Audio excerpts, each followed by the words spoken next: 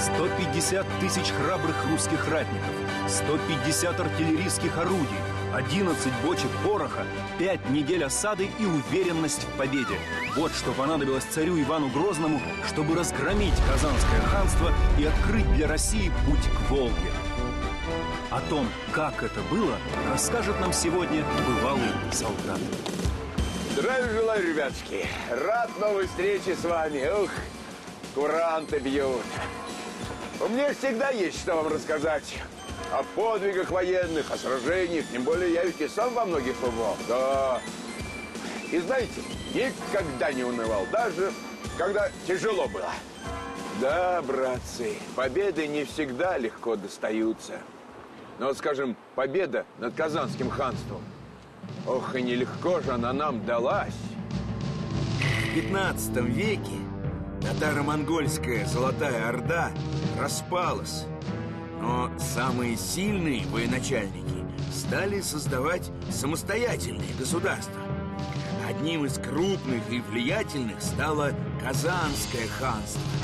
Тамошние правители, хотя и считались подданными Москвы, столицу не жаловали, а все время в сторону Крымского ханства смотрели.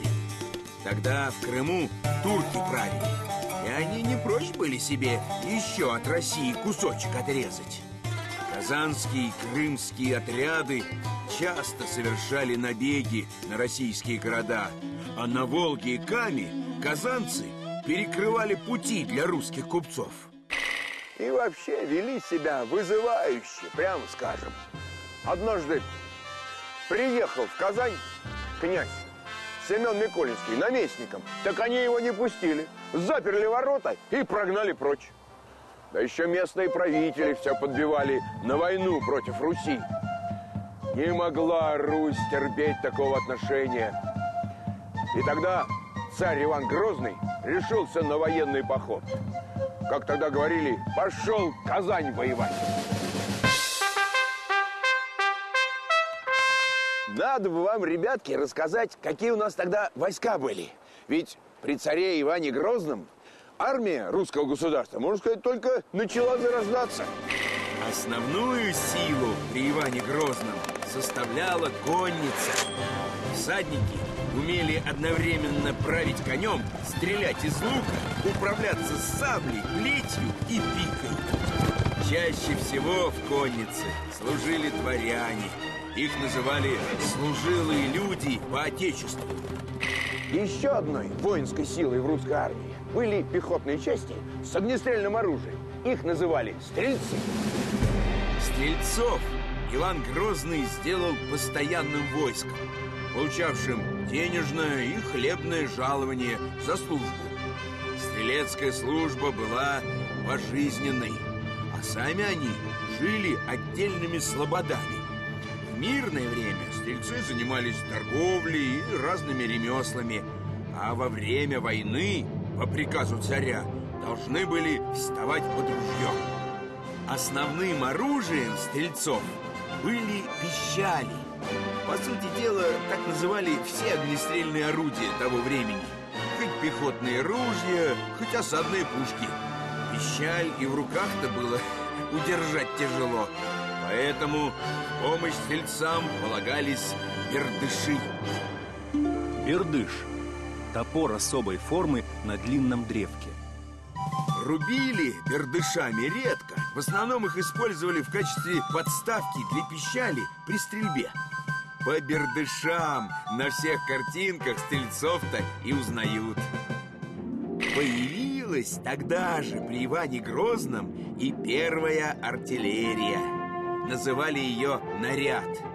Наряды составляли разные пушки – гаубицы, мортиры и крепостные пищали – Пищали в основном прямой наводкой били.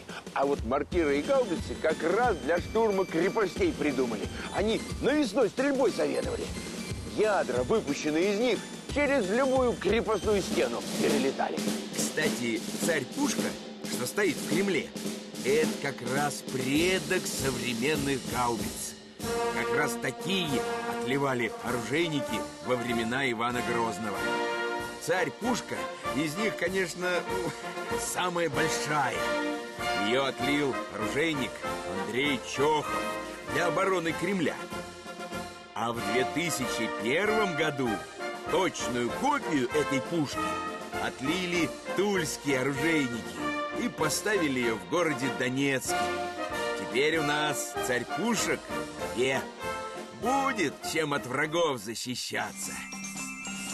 Так, тремя родами войск, конницей, стрельцами и артиллерийским нарядом отправился Иван Грозный брать Казань.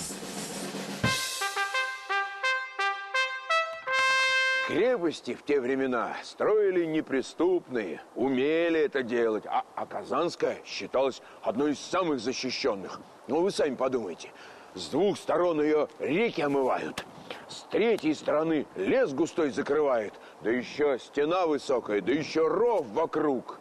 В общем, взять такую крепость задача была непростой. У казанского хана план был простой – отсидеться в крепости, пока у русских силы не иссякнут.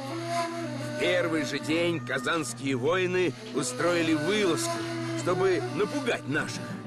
Русские неприятеля отбили и не испугались. Царь Иван Васильевич сказал, что не уйдет без победы. Пусть даже придется ему зимовать под стенами Казани. Воевали тогда ребятки основательно.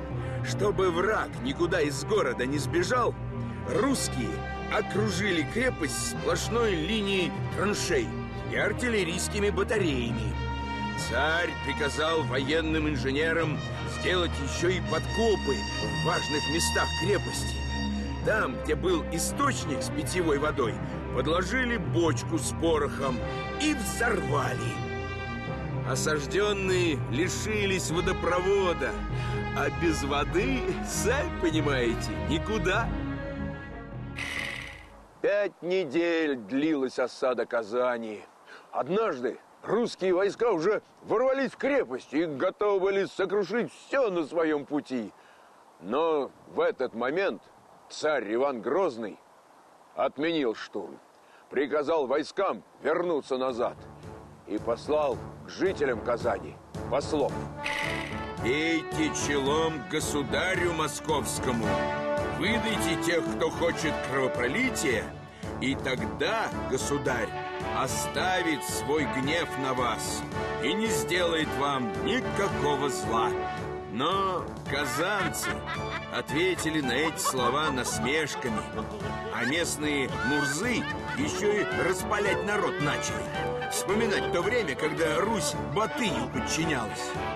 Вот тогда и решились русские на окончательный штурм крепости. После торжественного молебна и причастия все войско стало готовиться к штурму. Утром 2 октября 1552 года раздался мощный взрыв. Это рухнула часть стены Казанской крепости. И русские войска с криками «С нами Бог!» устремились на штурм. Сам царь с царской дружиной, облачившись в доспехи, участвовал в трудной битве. И вот, когда уже не осталось в городе ни одного неприятельского воина, разнеслась радостная весть. Радуйся, благочестивый самодержец! Казань наша, а ее царь в плену. Так была взята штурмом неприступная крепость и освобождены из вражеского плена 60 тысяч христиан. А царь подрузил крест на главной городской площади и, обойдя город с иконами, посвятил столицу Казанского ханства Пресвятой Троице. С того времени и путь на Волгу для русских был открыт, и многие поволжские народы к России присоединились. Один из самых знаменитых храмов России на Красной площади тоже посвящен победе над Казанским ханством. Это собор Василия Блаженного, который вообще-то называется Храм Покрова, что на рву. Здесь был когда-то ров вокруг Кремля.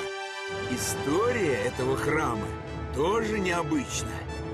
Пока русские войска в Казани воевали, здесь, у храма Живоначальной Троицы, в ознаменование каждой казанской победы строили деревянную церковь. К окончанию войны на этом месте оказалось девять церквушек. Царь Иван Васильевич Грозный после войны приказал построить на этом месте один многоглавый собор. Вы спросите, при чем тут Василий Блаженный? Ну, со взятием Казани это никак не связано, честно вам скажу. Дело в том, что при царе Иване Грозном жил в Москве человек Василий Блаженный. Очень многие его любили и уважали. И даже сам царь. И когда Блаженный умер, то могила его оказалась как раз под стенами Покровского собора.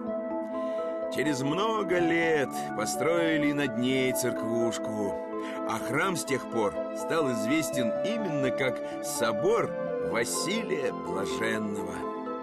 Как видите, ребятушки, военная история российская крепко-накрепко связана со всеми другими историями и никак от них не отделяется. Нет, закалена в битвах и сражениях.